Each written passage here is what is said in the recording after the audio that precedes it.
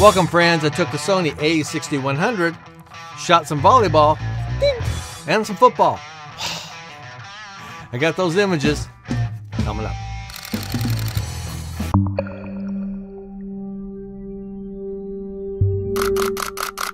Hey, if this is your first time visiting my channel, subscribe and click that notification bell so you can be informed of all my videos coming up and you can learn more about sports photography, maybe even more about the Sony a6100.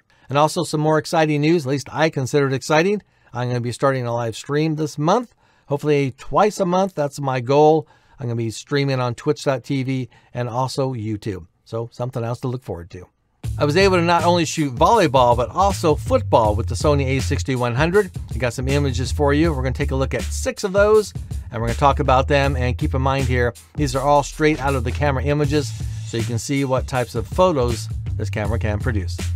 First up is your basic photo. I was just trying to get my settings down to where I wanted to start off the games with. ISO 2500, 1 800th of a second at f1.8. And I do want to point out that I used a Sony 50mm 1.8 portrait lens when I shot both volleyball and football. Who would shoot football with a 50mm lens? Well, I would.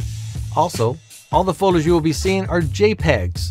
I wanted to see how this camera handled straight JPEGs and no RAW files because if you're just getting started, sometimes you don't know how to handle RAW files. But JPEGs, everybody can deal with those. Now the A6100 has three settings for JPEG, has standard, fine, and extra fine. The A6000 has standard and fine. I went for the extra fine because the more information I can get out of my JPEG, the better. Now I should shoot this a lot tighter, but when I have a 50 millimeter lens, I can't get much tighter than this unless I'm really, really close, but that's okay.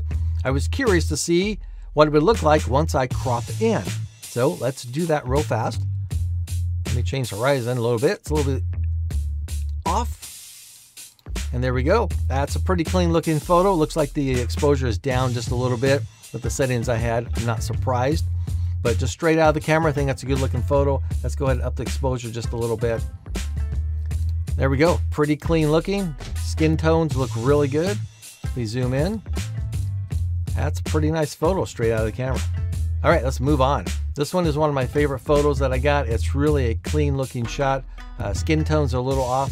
ISO is up to 3200 now with 1 one thousandth of a second. Looks like it's still just a little underexposed, but it's not too bad. So let's just fix that real fast. Right there, very clean photo. Nice action shot. Got part of her face in there.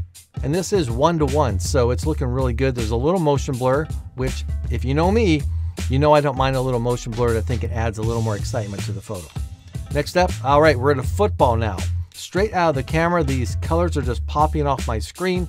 They are just so vibrant and I, I just love them. The yellows and the blues are really great. ISO 500, 1 250th of a second. Now I did put on auto ISO. I adjusted everything else myself. I was able to do 1 250th of a second because there's no action. There the captains are walking out for the coin toss but it's it's nice and crisp and clear. I, I'm really impressed with the photo. Next up, here's an action shot for you guys, ISO 4000. Now the reason it's at ISO 4000, like I said, I have it on auto. End zones are usually darker than the rest of the field, so it jumped it up to 4000. I have it 1 800th of a second to help freeze some of the action and look at that. That's a, it's a great photo. You got this guy over here celebrating. You got this guy celebrating because he's just crossed the end zone and he's, look, he's floating. He's not even on the ground. That's how easily he got in. So straight out of the camera, I think it's a great looking photo. One more photo for you guys to look at, another football photo. Now, yes, again, I'm too far away, but I did that for a purpose. ISO is at 2500. That's because the middle of the field, I kind of mentioned a little bit about it earlier, is better lit than the end zones. But my my big thing here is I want to see what this would look like when I crop in. I'm probably what 20, oh we got 10, 20, 30 yards away. Let's see what it looks like when we crop in. She don't look too bad. We'll probably lose some but. There's a little bit of a crop, but we'd probably want him right there. Let's straighten that a little bit. Let's go in. You can probably live with that. The photo is pretty good looking. You go one to one. It's a little off. It's a little blurry when you get in that far, but it's not terrible. Of course, you would never be shooting with a 50 millimeter from that distance unless you were me. Because I do those things. That way you know what they look like and you know whether or not you should do it or not. My first outings with this camera, I have to say it's all positive. Two thumbs up. Yeah, baby. I like the images it produced, nice vibrant colors, handle low light situations, and the menu system to me was a breeze to run through and get the exact settings that I needed to produce these images. Now, what do you think? Did you like the images? Would you purchase this camera? Let me know in the comments. I know there's going to be some interest in the settings that I use, so I'm going to get you a video out as soon as possible and we can walk through the settings and I'll show you the things you need to change right away and which settings you don't need to worry about.